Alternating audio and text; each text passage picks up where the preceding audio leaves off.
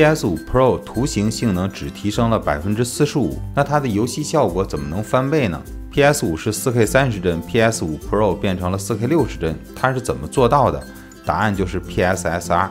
这个视频给各位小白同学普及一下超采样技术，那就是索尼的 PSSR、英伟达的 DLSS，还有 AMD 的 FSR。其实这种技术不难理解，因为现在游戏画面是越来越精美，但是带来一个问题，那就是原生 4K 六十帧的画面，就算如今的卡皇4090来了，也跑不动，只能跑二十几帧。那这时候呢，显卡厂商有一群大聪明就说了，那让游戏跑 1080P 分辨率，帧率不就上来了吗？就流畅了。但是 1080P 分辨率的画面就模糊了。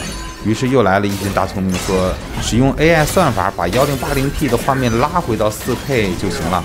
但是幺零八零 P 分辨率的原生像素点只占 4K 的百分之二十五啊，剩下的四分之三的像素点那些内容需要用 AI 来填充，AI 填充就是猜嘛，那猜的不准怎么办呢？于是又来了一群大聪明，说是在显卡里面加个 AI 芯片就行了，因为 AI 芯片比 GPU 芯片要便宜，然后再让它深度学习一下，画面就非常接近原生的 4K 了。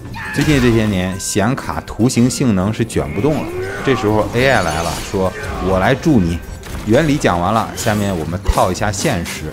先说 PS5，它是没有 AI 硬件的，但是它支持算法，也就是软件的超分技术。比如黑神话的 PS 五版用的就是 FSR 的2.0版本，是软件的。PS 五 Pro 是有 AI 硬件芯片的，它可以使用 PSSR，它可以把运行在 2K 分辨率六十帧的画面拉回到 4K 六十帧。